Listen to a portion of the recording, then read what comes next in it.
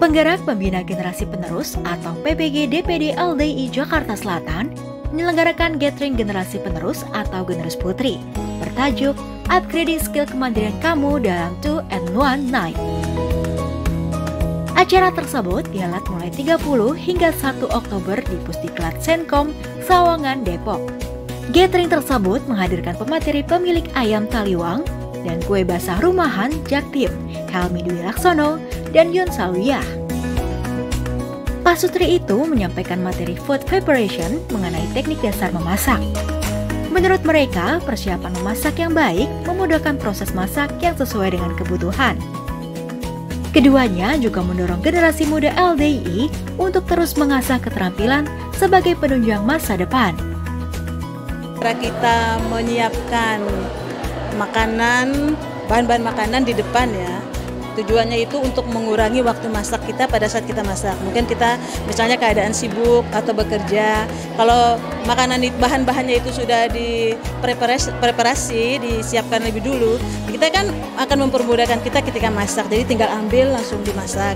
Nggak perlu dikupas dulu, nggak perlu dipotong dulu karena kan sudah disiapkan sesuai dengan golongannya masing-masing. Nanti dimasukin box, masukin di kulkas. Gitu. Mempermudah, mempermudah kita gitu dalam memasak. Itu dunia memasak itu nggak hanya untuk perempuan aja, laki-laki pun bisa gitu. Karena sekarang kan e, namanya memasak itu tidak cuma dilakukan oleh laki-laki atau perempuan saja, semua bisa anyone can cook, anyone can cook seperti itu.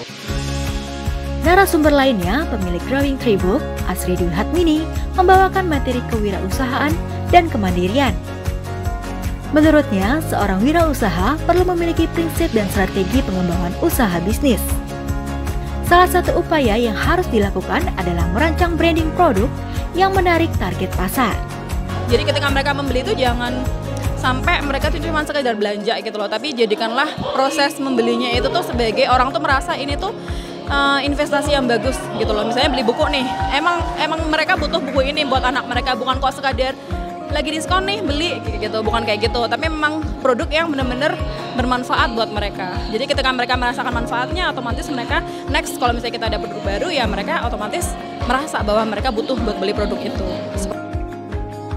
Menurut Koordinator Bidang Keputrian Mita Karima, Catering Generus Putri dilaksanakan untuk meningkatkan silaturahim juga menjadi wadah para wanita LDI menempa keterampilan apalagi sekarang tuh tuntutan zaman makin tinggi jadi uh, setiap keputrian itu diharapkan memiliki skill-skill um, yang bermanfaat bagi kehidupan mereka gitu